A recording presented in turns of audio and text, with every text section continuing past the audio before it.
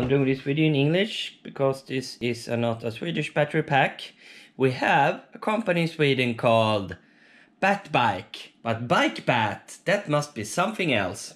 This is for a battery pack from, this battery pack is from Crystalyte Europe.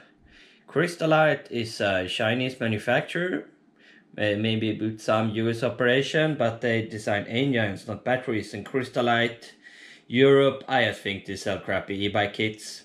Most of them with Crystalyte motors and they just add some random battery packs and this battery pack seems to be added from Belgium, I think that is. And uh, these batteries are very common in Sweden for 250 watt e-bikes, 36 volts, at least these cases are used. However, the motor he described was uh, for 600 to 1600 watts. So, oh, here is some info. He bought it, oh, like one year ago. Uh, when, when this battery was new, he, he was only able to ride 16 kilometers. Just that is like, what? 16 kilometers? Now it can only ride 2 to 4 kilometers. This is really weird. But if you use a battery pack like this, that is not built for high discharge, then maybe 16 kilometers is good. Then I would like to have a temp sensor in here when he rides his e-bike and just gets 16 kilometer because I think it's it will get like super hot in here. So let's see if this battery pack is actually suitable for a Crystalyte motor. Um, the motor is Crystalyte UFO R3540 and here's a picture of it. It's not some kind of wimpy hub motor, it's real powerful deal.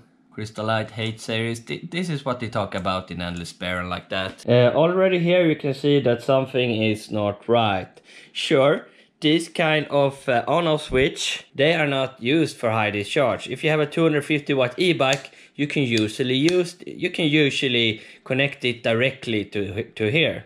But if you do doing more watts than that, the contacts in here will melt, have poor conductivity, and a lot will be wasted in heat. So if you're gonna do a high high discharge battery in this kind of case with an on-off switch, then you're gonna need a relay switch on your BMS, not pull the power through the poor little poor little sucker over here. And here we have a little look inside the battery packs, and they're using packaging foam just like this. Oh, and here you can see there's cracks in the heat shrink tubing. Now why is there cracks on the heat shrink tubing? If this battery was like 10 years old, then maybe the plastic can get uh, cracks in them. But but still, it's not as flexible as heat shrink tubing anymore because it had been subjected to high heat for a long period of time and then it can crack like this and it hardens. It turned from the soft kind of plastic that heat shrink tubing is to a hardened kind of plastic. So Let's open this up and see what more we find in here. Well, it was easy pulling out. There were some more plastics in here and also they added a little bit of hot... Didn't know this is silicone. Just added a little bit in here to make it stuff even worse. And here you can see uh, some handwriting and it's totally cracked over here. Totally cracked. And the tape and the shiny cells. Oh, Nice. Now we're getting somewhere. Away with all the fucking tapes. Uh, it's fairly a large BMS with a temp sensor. Okay. Okay, okay, okay, okay, okay, okay, okay. This complete fucking idiots. It's not the first time. It's not the first time I'm seeing this. Here you have the battery minus battery minus. And on the BMA, it doesn't say battery minus, it says discharge minus. It's hard to tell because there are plates over here, but I can tell it says this minus. And discharging minus goes from the BMS to the discharging minus port, this one.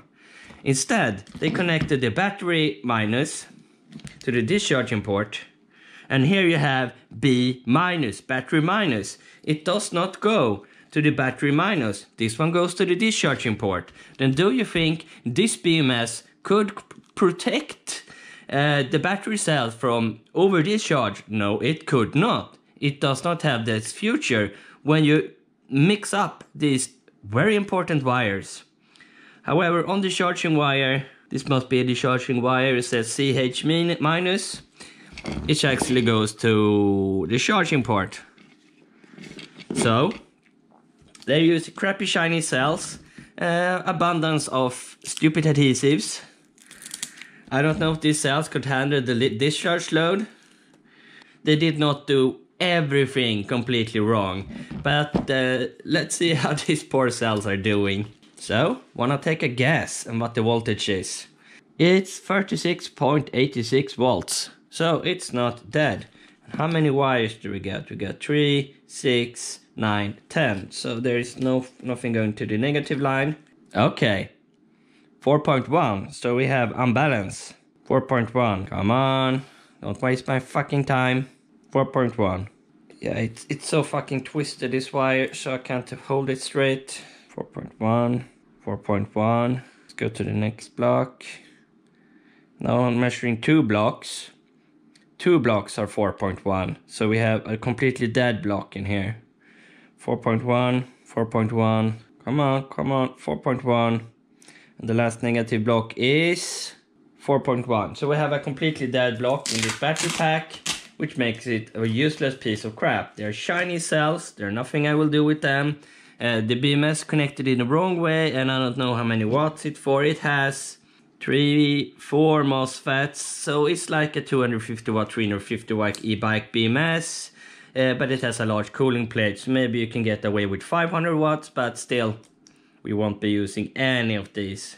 If you buy something from BikeBat, you're kind of screwed if you did this wrong. This, also, there's absolutely no reason to connect these ones wrong. And here is the name of the board. It's it's not the poor little board's fault that it was connected wrong, but so stupid.